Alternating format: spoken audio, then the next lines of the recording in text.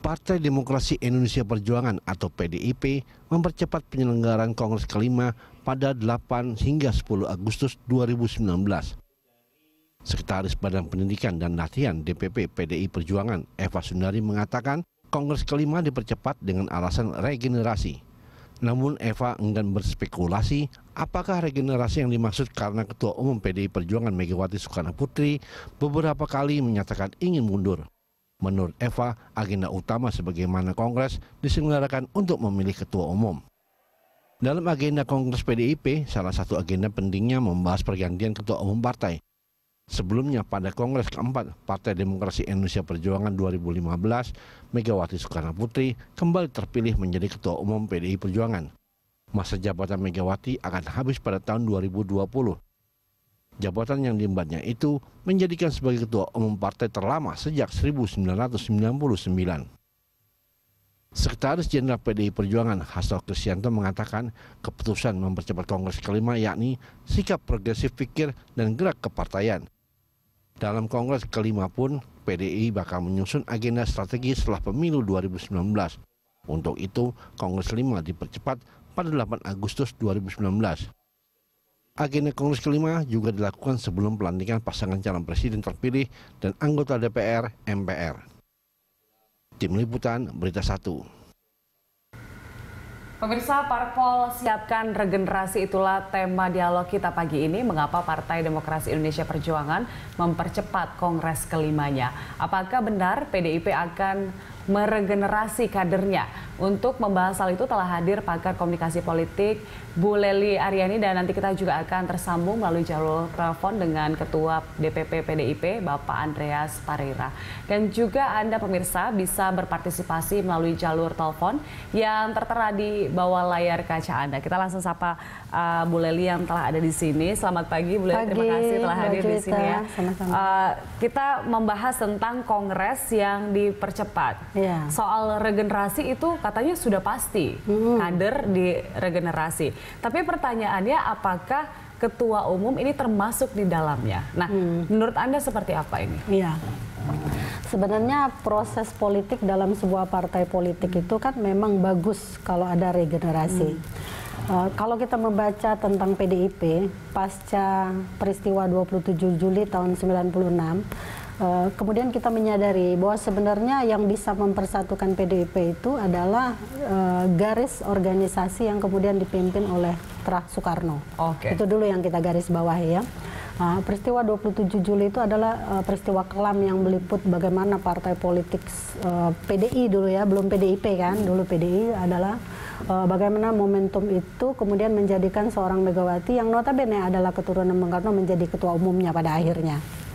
Nah, harus kita baca juga bahwa sebuah proses politik dalam kaderisasi sebuah partai okay. itu bisa muncul dalam dua dua kategori. Baik. Yang pertama karena destiny, hmm. lalu yang kedua karena proses pengkaderan yang uh, memadai dari bawah. Artinya melampaui sebuah jalur pengkaderan yang benar-benar berdarah-darah dari bawah sebuah kader partai politik bisa muncul ke permukaan. Okay. Nah, lalu apakah pertanyaannya kemudian uh, apakah proses regenerasi ini akan melibatkan proses pergantian ketua umum? Hmm. Bisa jadi dan bisa juga tidak. Okay. Karena apa? Kalau kita membaca beberapa partai politik ya. yang memang menggunakan simbol ketua umum sebagai perekat partainya itu misalnya muncullah PDIP, Demokrat. Berbeda dengan Golkar misalnya, Golkar, P3 yang kemudian tidak menggunakan simbol. Okay. Maka lebih riskan terjadi perpecahan di kubu partainya. Oke, okay. nah, Sebaiknya... ini berbeda dengan dengan PDIP yang ya. kemudian menggunakan simbol. Ini kan sebenarnya sudah lama, ya. sangat lama, 26 ya, tahun ya, ya, Bu iya. Leli. Menurut Anda apakah memang sebaiknya dengan gaya kepemimpinan yang selama ini sudah berjalan dan hmm. sepertinya cocok dengan para kader yeah. ini diganti di tahun ini padahal harusnya kongres itu dilaksanakan tahun depan karena yeah. Bu Mega baru selesai jabatannya pada tahun yeah. depan. Kalau kita membaca apa yang dinyatakan oleh Sekjen ya, yeah. uh, Hasto, Pak Hasto hmm. bahwa sebenarnya ini adalah muncul langkah progresif hmm. untuk membaca arus kepentingan partai ke depan. Okay. Boleh jadi meskipun seorang Ibu Megawati adalah perkat, hmm. perkat kebangsaannya hmm. PDIP gitu kan, maka boleh jadi dia sudah menitipkan siapa kader yang akan kemudian bisa memimpin PDIP, lalu kemudian juga bisa menjadi perkat. Okay. PDIP itu nyaris tanpa konflik di bawah kepemimpinan Megawati karena kader-kadernya berpedoman pada simbol seorang Megawati tadi. Hmm. Saya pikir kader yang akan dipersiapkan juga akan membaca wacana itu sehingga PDIP tidak terlepas misalnya tidak boleh terjadi perpecahan seperti yang terjadi sebelumnya. Jadi kalaulah itu dipercepat kita bisa membaca mungkin arah kepentingan partai politik ke depan. Hmm. Kalau kita berandai-andai seorang puan kemudian menjadi ketua DPR RI iya, gitu okay. kan ini sudah menjadi isu publik yang dominan lah katakanlah boleh jadi apakah kemudian PDIP akan memutuskan Puan merangkap ketua partai lalu hmm. kemudian juga adalah ketua DPR okay. boleh jadi karena ketua MPR juga merangkap ketua partai PAN jadi kalau meskipun kontroversial ya kontroversial ya? seperti itu okay. tapi mereka juga bisa membalikan misalnya keadaan hmm. kepada partai politik yang lain misalnya oke okay, baik kalau kita ngomong soal regenerasi ketua umum begitu yeah. ya iya. kalau boleh bilang uh, sebenarnya sudah bisa diganti gitu ya yeah. sudah bisa diganti mungkin dengan terah yang sama masih mm. dengan darah Soekarno begitu yeah. kan tapi sebenarnya hal ini baik nggak jika ideologinya tetap ada di sana begitu mm.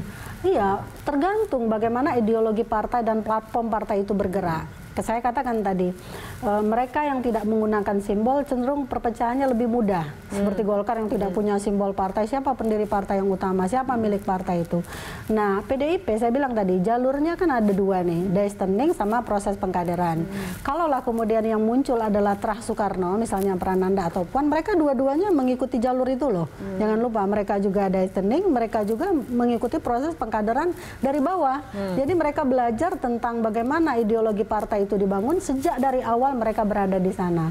Okay. Jadi kemungkinan lebih besar saya justru berpikir memang yang akan muncul adalah dari Terah Soekarno. Iya, kita kita sebagai masyarakat ya. uh, biasa ya berpikir bahwa selama ini Bu Megawati sejauh ini memimpin PDIP bisa dibilang cukup Ada, berhasil iya. mencetak uh, presiden, kemudian menjadi partai nomor satu di parlemen dengan kursi terbanyak, Bu Leli. Iya. Tapi kan kita berpikir bahwa sebenarnya apakah memang uh, kepemimpinan dari Megawati ini para kader yang terlalu percaya hmm. dengan Megawati yang dari awal memimpin PDIP hmm. atau Bu Megawatinya yang belum percaya dengan orang lain dengan gaya baru, cara memimpin yang baru gitu. Yeah kita tidak harus membacanya seperti itu ya, hmm. bahwa proses pengkaderan di PDIP itu memang maksimal. Mereka hmm. punya sekolah kader yang kemudian membentuk calon-calon kepala daerah pun bahkan hmm. diproses ya, lewat proses pengkaderan hmm. di sekolah sekolah kader kepartaian hmm. seperti itu. Sehingga kita membaca sebenarnya kalau ingin misalnya berlaku umum semua kader itu berpeluang sama hmm. ya, berpeluang sama untuk menjadi calon pemimpin di PDIP. Tapi saya bilang tadi karena ada simbol, simbol partai yang membedakan antara PDIP dan termasuk sekarang Demokrat dengan partai-partai lain termasuk hmm. bagaimana membedakan itu dengan partai yang bukan nasionalis hmm. yang bersifat agamis misalnya de, re, re, apa restoratif atau demokratis misalnya ini yang membedakan PDIP dengan partai-partai lainnya sehingga hmm. peluang keterpilihan justru berada pada Tra Soekarno okay. saya bilang tadi. Uh, menurut Anda kecenderungan seperti apa memang yang bisa ditampilkan dengan simbol bahwa oke okay, ini di satu garis keturunan yang sama hmm. kemudian dengan gaya yang mirip-mirip ya kan uh, kita belum bisa membuktikan ya karena yeah. belum terjadi begitu. Kira-kira kecenderungannya akan seperti apa, Bu Leli? Iya, jadi saya pikir ya PDIP kan 2020 baru akan melakukan kongres. Hmm. Tapi seandainya itu dipercepat, hmm. tentu itu sudah melalui proses yang panjang di partai itu sendiri secara internal. Hmm. Mereka membicarakan itu untuk kepentingan partai politik ke depan. Hmm. Tentang siapa yang akan dimajukan juga sudah dibicarakan. Okay. Jadi warna kepemimpinan yang akan muncul, kalaupun hmm. nanti misalnya melibatkan tokoh lain di luar hmm. terahnya Soekarno, itu tentu akan diwarnai juga bagaimana PDIP itu dibentuk lalu kemudian menjadi besar yang dikatakan Julita tadi menjadi partai terbesar hmm. untuk saat ini ya dan kemudian beberapa tahun ke depan kita juga harus membaca bagaimana komitmen partai itu terhadap mereka yang akan memimpin bahwa dia juga harus bisa membangun membangun partai ini ke depan tetap menjadi yang nomor satu. Oke. Jadi komitmen itu sudah dibangun sejak awal. Baik dengan alasan-alasan bahwa ingin regenerasi, ingin ya. uh, sedikit merubah lah mungkin yang ada di dalam begitu ya. Hmm. Dan mungkin bukan dikit ya, banyak gitu mungkin rencananya dalam kongres loh mereka hmm. ingin membuat uh, regenerasi begitu. Ini apakah memang alasan bahwa ingin mengawal pemerintahan Jokowi Maruf Amin nantinya jika telah disahkan, hmm. ini sesuatu yang cukup kuat untuk regenerasi. Iya, ini sudah pasti. Kalau mengawal keterpilihan itu akan terus dilakukan oleh PDIP loh, hmm. Julita. Baga biar bagaimanapun uh, Pak Jokowi adalah kader PDIP, hmm. lalu kemudian menjadi pemimpin negara. Jika itu terjadi pada periode kedua, maka akan menjadi lebih berat lagi tugas PDIP. Misalnya ke depan bahwa proses pengkaderan itu seharusnya mereka persiapkan sehingga tidak jatuh kepada partai politik lain. Hmm. Nah ini beban berat bagi calon pemimpin partai politik. Hmm. Bagaimanapun dia harus bisa memberikan warna tersendiri bagi perjuangan PDIP khususnya ke depan. Hmm. Sepanjang pemerintahan Pak Jokowi ke depan. Karena hmm. kita sudah bisa memastikan okay. nih yang akan bertarung di 2024 itu adalah elit-elit partai politik hmm. yang tentu punya peluang yang lebih besar. Kemunculan-kemunculan generasi muda itu sudah bisa dibaca. Mungkin Sandi juga akan maju lagi, hmm. gitu kan? Yeah. Ada AHY, ada Puan, yeah. atau dari Golkar siapa Gak nanti ada, ada Aca nantinya ya. Iya, itu yang berikutnya. yang harus dipersiapkan secara maksimal oleh mereka. Oke, okay. uh, kalau kita kaitkan lagi Bu Leli dengan ya. tugas berat ini. Artinya memang butuh calon yang sangat kuat nantinya untuk ya. bisa menjadi ketua umum uh, eh, PDIP begitu. Hmm. Apakah penggantian Ibu Mega ini sesuatu yang mungkin masih kita pertanyakan gitu karena hmm. untuk saat ini Ibu Megawati masih yang nomor satu begitu di PDIP. Iya, siapa pun dia itu untuk menjadi ketua partai hmm. terutama di PDIP itu tidak cukup hanya punya kualitas, hmm. tapi juga harus punya loyalitas. Okay. Loyalitas bagaimana perjuangan partai itu dibangun. Hmm. Jadi semua hal yang melekat dalam kapasitas, hmm. misalnya kualitas, integritas, dan dukungan lain yang kemudian melekat kepada figur itu, memang harus membentuk karakter partai yang tetap berbeda dari partai-partai politik lainnya. Hmm. Dan ini tugas berat.